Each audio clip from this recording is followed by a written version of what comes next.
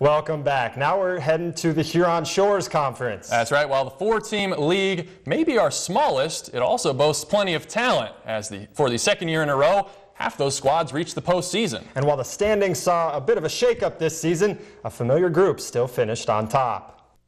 Down in Tawas, the Braves struggled to replace several key members of their 2011 playoff squad.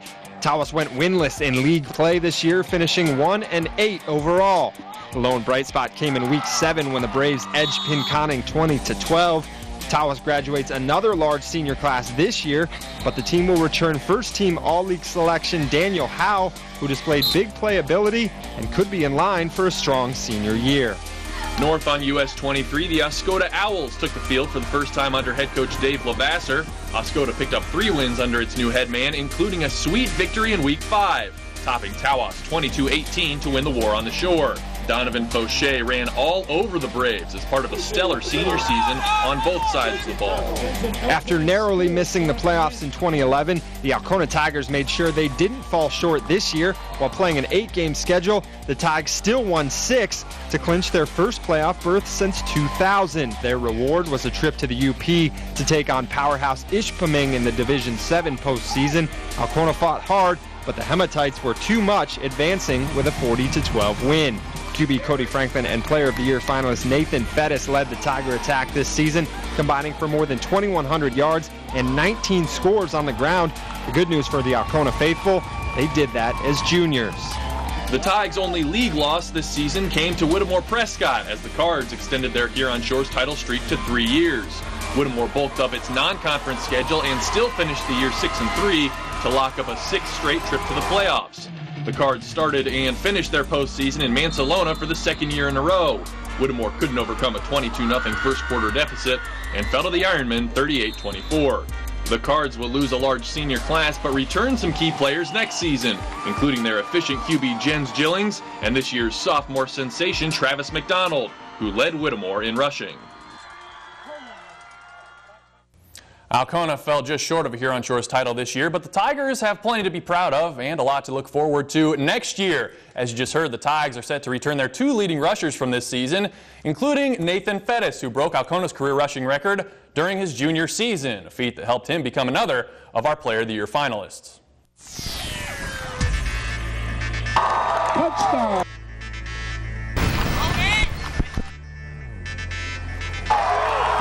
Football's just always been a special sport to me. Nathan Fettes!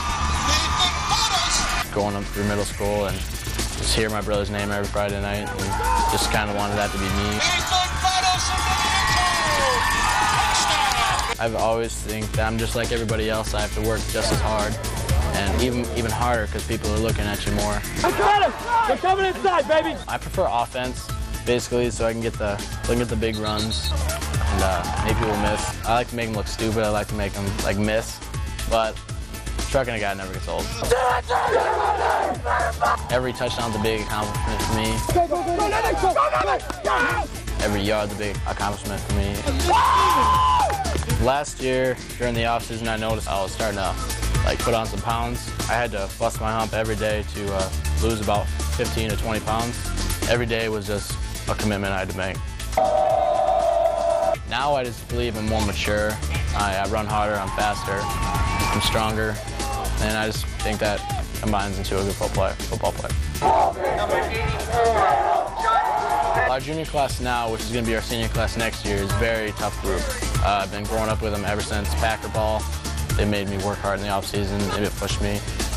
So it's going to be a fun year next year. And now I'm joined by Nathan here on set, and as you just saw, he'll hit anything, so I'm going to go ahead and keep my distance. But Nathan, Jeff just mentioned you broke the school rushing record as a junior. You know, that's very rare, a very big accomplishment. Just talk to me about when you found out that you had actually broken the record, what went through your head, and what that kind of means to you. Um, it, it happened during Buena Vista week, and it was that it was a crazy long, it was a crazy like uh, zigzag run throughout the field, and uh, I, I didn't know I did it, but my coach mentioned it to me to look at the numbers, and I did, and I just I just recall in middle school when I looked at the I looked at the leaderboards, and I've always wanted to break it ever since, so it meant a lot. Now, you mentioned you've grown up wanting to play football, break records. You grew up in a football family. I know your brothers are here today. They both played at Alcona. What has that done to help you become a better football player? Uh, basically, it just I just I've always wanted to get my family name out there through Alcona schools, and my brothers have helped me through the off season, helped me get stronger, faster, and it's I appreciate it from them. Yeah, now, now that you own the record, do you kind of jab back and forth with them? I mean, they had their chance, but you were the one that got it. Yeah, my brother Kevin was a running back. My brother Ryan was a lineman, so Okay. I bicker with Kevin all the time about it. He gets jealous, I think, sometimes. Now, as I mentioned, you know, this was just the finish of your junior season, so you still have one more year to go. You already have the record, so what's kind of left for you to do as an Alcona Tiger? Um, basically, all I can do is just keep working hard in the uh, off season, get stronger, faster, more mature, uh, learn the offense more, and just get better uh, relationships with my teammates. Yeah, well, I mean, as you just heard, he's trying to get bigger, stronger, faster, so Huron Shores Conference, look out. But now you've met two of our Player of the Year finalists, and coming up after the break, we'll sit down with our third and final finalist and take a look back at the year that was in the North Star League.